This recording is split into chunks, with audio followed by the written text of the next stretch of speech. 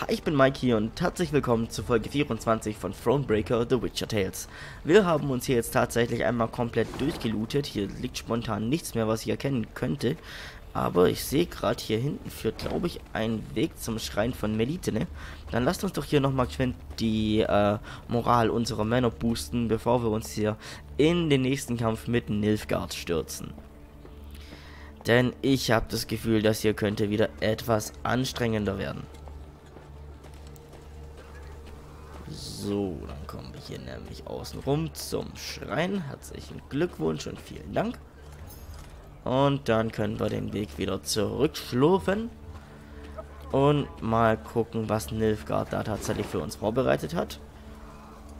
Äh, ist tatsächlich noch ein ordentliches Stück und ein, zwei Käfer bis zur nächsten Story-Mission. Also, wir haben noch ordentlich zu tun, wenn wir uns hier weiter mit Nilfgaard auseinandersetzen wollen. Kleinen Moment bitte.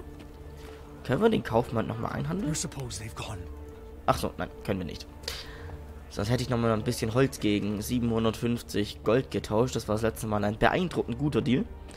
Der uns auch nochmal das nächste Armee-Upgrade beschert hat. Und deswegen wäre ich doch bereit gewesen, das nochmal zu machen. Vor allen Dingen, weil das nächste Armee-Upgrade bei 5000 Goldstücken liegt. Und das ist halt mal eine echte Hausnummer. Aber gut. Your Grace, Meave heard Reynard call out from behind her. The scouts returned. Claims to bear an urgent message. The Queen halted her horse and waited for the soldier to reach her. He abandoned all formalities and jumped straight to the point. Milady, a black-clad caravan, armed to the hilt, rides this way. To believe the rumours, they're hauling a load of war loot back south. Reynard gave the soldier new orders, then turned to Meave. Hmm. Sounds like a prime opportunity to replenish our coffers. Ja, wir brauchen die Kohle. Indeed. An opportunity we cannot ignore. The Queen said. Your unit will block their path. Gascon and his men will hide in the woods and strike their flanks, while I shut the trap, attacking from behind. Their plan established, Meave gave the signal to move out. A brief moment later, the fight began. Verdammt, ich habe vergessen, mir was zu trinken zu holen zwischen den Folgen. Mm, scheiße. Der kaiserliche Transport. Die Nilfgaarder stoppten, als sie erkannten, dass der Kampf unausweichlich war. Doch nicht alle gingen in Verteidigungshaltung. Bei jedem Wagen blieb ein Soldat, wendete den Angreifern den Rücken zu und ließ den Blick nicht von der Fracht. Welche Mysterien verbargen sich in den Wagen? Welche Schätze waren so, kos waren, ne, so kostbar, dass man sie für mitten im Kampf äh, die Selbstverteidigung vernachlässigte? Hinweis, enthülle die Falle. Sonderregeln und ein verkürzter Kampf. Okay, alles klar. Enthülle die Falle. Hm. Ich bin gespannt. Was haben wir denn hier? Ich glaube, die Demeritiumsbombe können wir uns sparen. Die Wagenburg würde ich allerdings mitnehmen. Die Elf- und Zwiebelsuppe hat uns eigentlich auch immer gute Dienste geleistet. Ich glaube, wir versuchen unser Glück mal. Wobei, die sind schon aufgestellt, oder? Lass mal den Schreinerbomber noch auswerfen und dafür nochmal einen lyrischen Sensenkämpfer mit reinnehmen. Okay. Gascons Überfall. Wenn eine Karawane neben diese Karte verschoben wird. Karawane, unbeweglich. Wenn immer dieser Einheit Schaden zugefügt wird, verschiebe sie eine Position nach rechts. Todeswunsch Mief verliert den Kampf. Karawanen-Eskorte, unbeweglich, unbeweglich, unbeweglich, okay. Ja, pass mal auf hier. Irgendwo doch mal einen lyrischen. Und kämpfen, greifen dann die gleich an.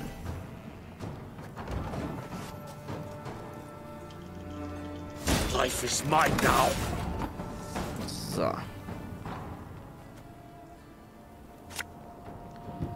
wir hier gleich mal die Wagenburg auf. Das war absehbar. Wise choice.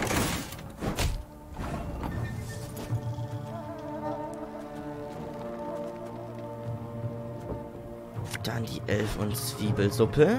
Werde die. Markiere eine Einheit, tausche nach drei zu deren Stärke gegen die Stärke der Einheit. Plünderer, grauer Reiter. Wenn eine andere verbündete Karte ausgespielt oder eine andere Reihe verschoben wird, verschiebe diese Einheit auf die Position neben ihr und verbessere sie um drei.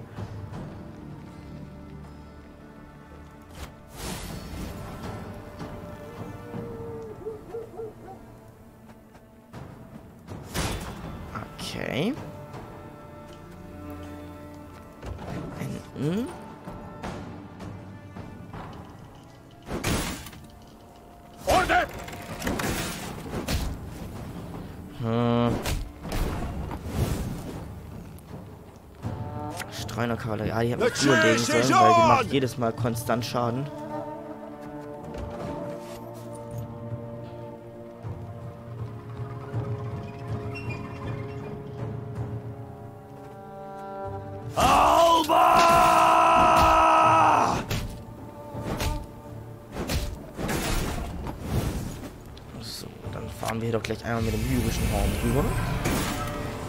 Bewegt sich hier zumindest mal was. Beenden den Zug.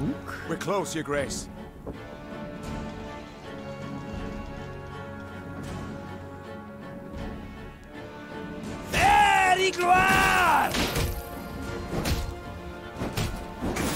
Sure took your time.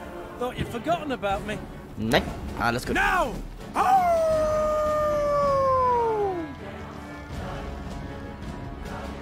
ich dachte, ich hätte jetzt gewonnen, wenn ich ehrlich bin.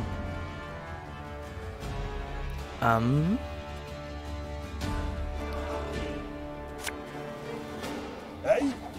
Zack, zack, zack. Jetzt hier erstmal schön das Fressbrett voll.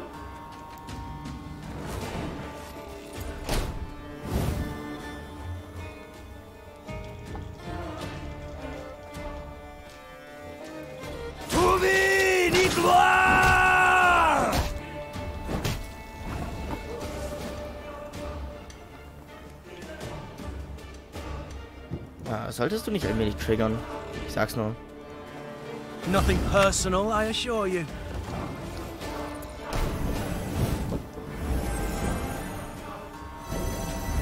Dankeschön, Dankeschön, Dankeschön, Dankeschön. So. Ach so, Nilfgaard ist dran. Verdammt. Scheiß! In zwei!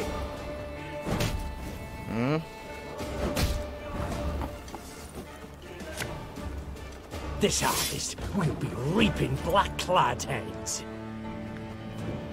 Passt auf. Wenn man hier ist, nämlich in der nächsten Runde gleich nochmal einen lyrischen ziehen, dann kann man nochmal Off to the front yet Reitschwert again. triggern und dann machen wir die da hinten nämlich ja nicht weg. Die gehen mir nämlich gehörig auf die Nüsse, wenn ich ehrlich bin. My spirit's willing and how, but these damn boots are killing me. So. Da habt ihr.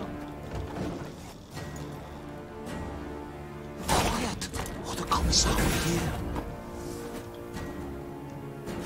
Hier nochmal einen Streuner rein. We got a job to do. Beenden den Zug. Ach! Scheiß! In zwei! Au! Denen hier etwas zusetzen.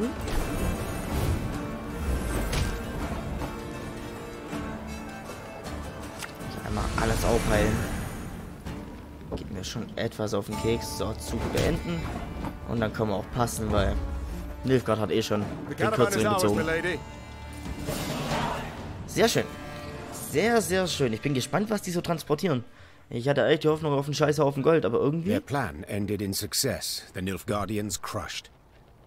As soon as the dust had settled, Neve tore the canvas off the nearby wagons to see what precious loot they had so carefully guarded. She expected to find gold, jewels, or exquisite silks. Instead, she saw dirty, terrified figures bound in chains. Slaves. Reynard muttered. Their precious cargo. Slaves. Behold the glorious future the Empire brings us. Ah, Geld wäre mir lieber gewesen. Neve ordered the prisoners freed and discovered they were Edirnian peasants on their way to dig canals and dredge swamps as forced laborers. You are free. You can return to your homes. The Queen said. If she expected words of thanks and gratitude, she was in for a disappointment.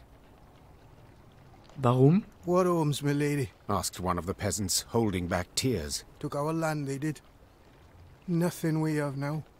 Not a rag to wear, not a crumb to eat. Leave us, we die.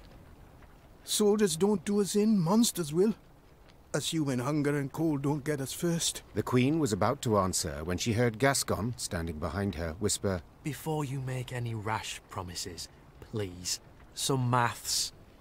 Dozens of hungry mouths to feed, and weak bodies to defend, twice as many tired legs to wait for, while war rages all around.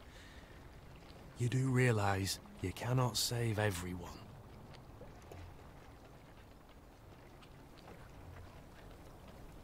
Was?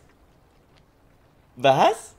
Welche Nachteile sollte das haben? Das war bisher nie ein Problem. Nimm die mit. I attacked this caravan hoping to fill my coffers. the Queen said, Instead, I have only secured a new drain upon them. But very well. In these ill times, we northerners must help our own. Women and children in the wagons. The men shall march alongside to the rear. I warn you, if you cannot keep pace, we shall leave you by the roadside. Move Listen. out. The Queen's gaze momentarily caught the eyes of an old woman her soldiers were helping onto a wagon. Tears of gratitude poured down her soot-stained face across hard lines left by years of destructive toil. Neve was convinced she had done the right thing. Ich verstehe nicht unbedingt, was gerade in wie von uns es gerade nicht weitergeholfen hätte, aber hm. Ein Nilfgaardischer Brief. An Senior Sensor Senior Zensor Berwin ab Klenage. Von Feldwebel Delevin N. Ellery. Ich weiß, dass ich diese Nilfgaardischen Namen abschlachte mit meiner Zunge, aber ich kann nicht anders. Ich habe wie befohlen 30 lebendige Nordlinge adernischer Herkunft beschafft, die sich wie folgt unterteilen. 13 Männer, 7 Frauen, 5 Alte, 5 Kinder. Die Arbeitstauglichkeit der Alten wird im Lager bestimmt. Gegebenenfalls werden sie aus der Karawane entfernt. Lang lebe der Kaiser. Ja, hervorragend. Dann haben wir hier noch etwas Loot. Das lasst mich aber hier sicherheitshalber nochmal einen Späher vorschicken. Genau deswegen nämlich. Gut, auf das da unten hätten wir kommen können, muss ich ganz ehrlich sagen. Aber äh, ich habe jetzt bisher noch nie das Gefühl gehabt, dass ich den Späher komplett umsonst losgeschickt hätte. Vor allem, wenn ich dran denke, hier 75 Goldstücke hast du in 0, nichts wieder am Start. So, hier oben war dann noch was. Ich mich hier durchs Dickicht schlagen?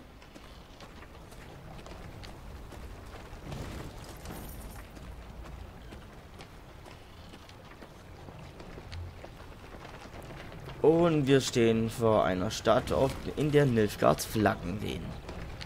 Hervorragend. Und mit Flaggen meine ich Banner.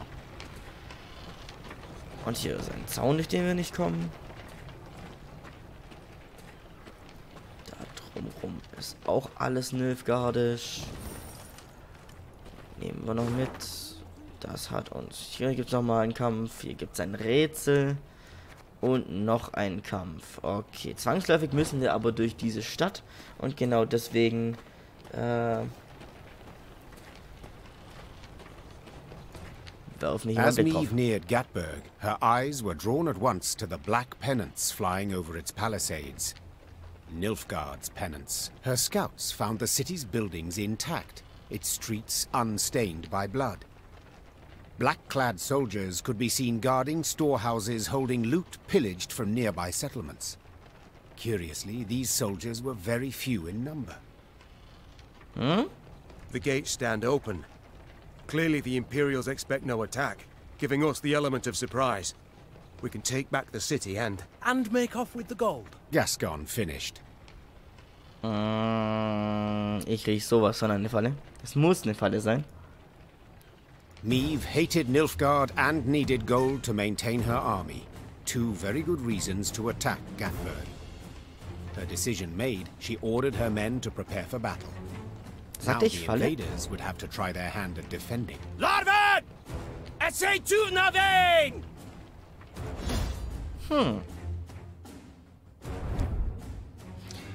Okay, die Schlacht von Gatberg. Die Königin hatte gefürchtet, ihre Soldaten würden um einer adernischen Stadt willen nicht den Tod riskieren. Wozu für den Nachbarn den Kopf hinhalten, wenn das eigene Reich ebenso bedroht ist? Doch Miefs Infanterie focht grimmig und ließ nicht nach.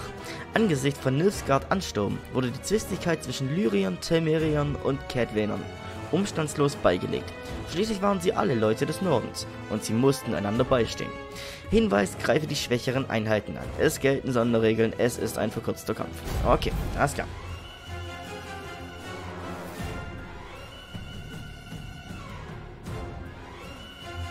Schlacht auch nur eine Runde. So, was haben wir denn hier? Quetschfalle raus.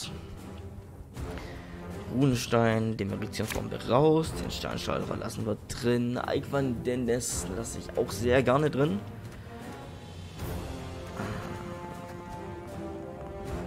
Okay, versuchen wir unser Glück mal. They feel at home here, the Nilfgaardians. Let's show them they're wrong. 152, 154. Was war das denn gleich? Befehl kräftige alle verbündeten Einheiten um 1. Wenn zwei verbündete Einheiten erschienen sind, verbessere diese Einheit um 6 und gib ihr Zähigkeit. Das ist der Fall, dass Zähigkeit eine Einheit erlaubt, am runden Ende auf dem Schlachtfeld zu bleiben und in diesem Fall ihre Basisstärke wiederherstellt, wenn sie vorher verbessert wurde. Okay. My spirit's willing and how, but these damn boots are killing me. Scrubbing duty again? Oh, gods. Dann gibt es hier nochmal einen There's a time to lyrischen. Und dann geben wir den gleich mal an die Gurgel. Wise choice. No signs of fighting. These Horsons must have opened the gates for the Blacklads. Oh. Damit machen wir es doch mal beliebt.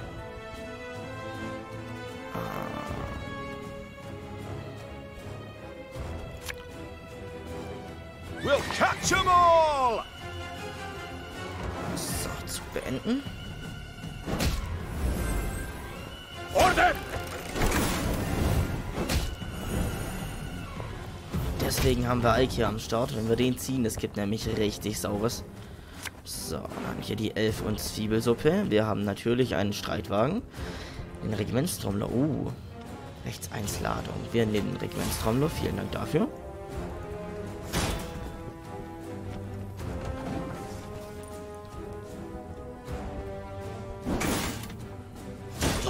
Mine now!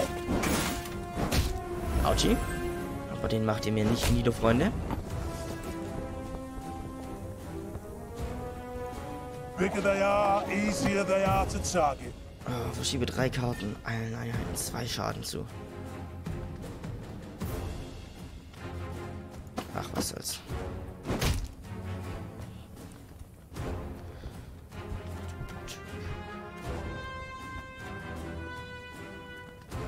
Dann machen wir das Ganze einfach gleich nochmal.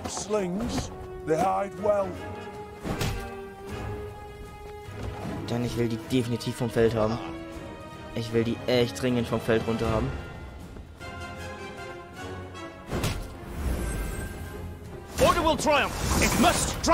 Was ist er denn bitte? Nilfgaardischer Kommandant. Super.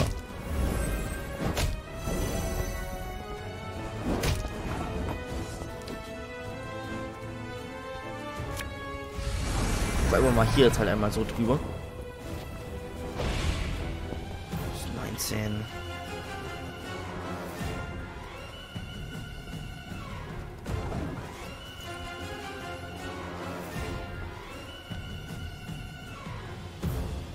Of course, as you wish, master. So. Noch unser Glück mal mit Reynard. We must trust each other! Schade, ich hätte gehofft, dass der denen wieder Ladung gibt, aber gut, er kann nicht alles haben.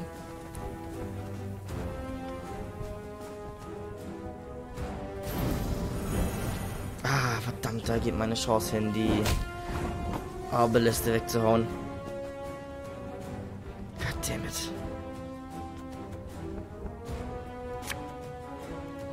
The chase is on!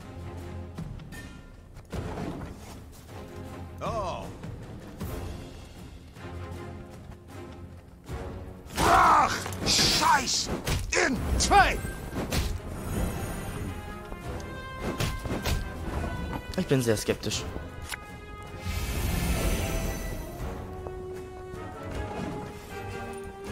Aber wenn wir jetzt dann äh, Ike spielen müssten und dann den Nilfgaardischen Kommandanten zusetzen, dann müssten the wir es eigentlich again. rausreißen können, aber es wird echt haarig. Es wird echt haarig.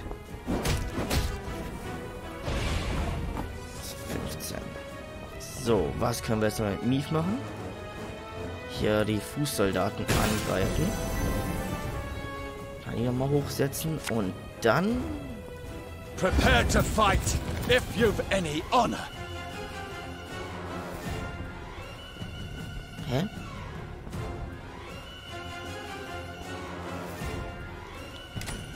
Hm, tja, das muss es reichen.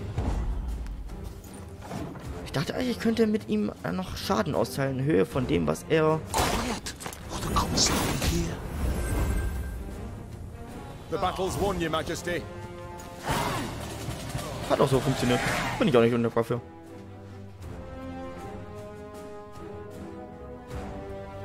The Battle of Gatburg ended in Meave's victory, much to its inhabitants' displeasure. While she examined the Nilfgaardian storehouses, the city's mayor, an elderly gentleman with a walrus moustache, requested a private audience. Your Grace, I am old. Kill me, you'll merely save my gout the trouble. So I'll be frank.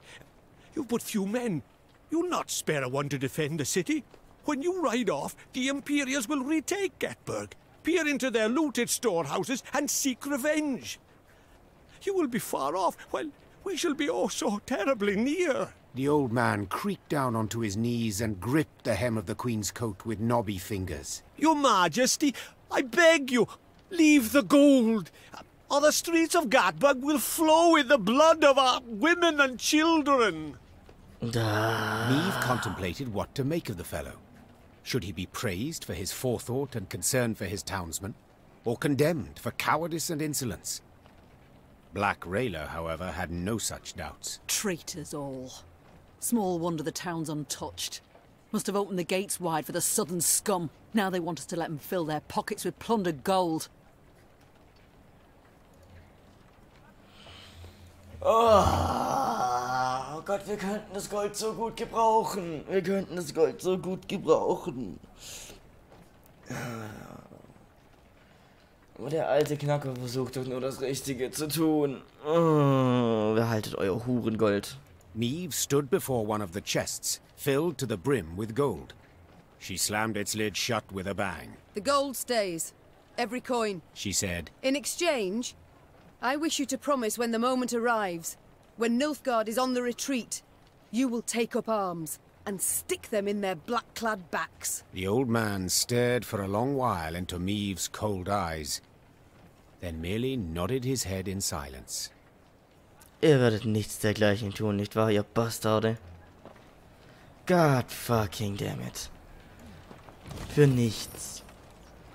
Für nichts. If we show them there's gold to be had, they could in turn show us mercy. If we show them there's gold... Ja, unfucking fassbar. Und für sowas setzt man sich noch ein, wisst ihr? Ah, na gut. Damit sind wir auch fertig mit dieser Folge. Ich bedanke mich bei allen fürs Zuschauen und bis zum nächsten Mal.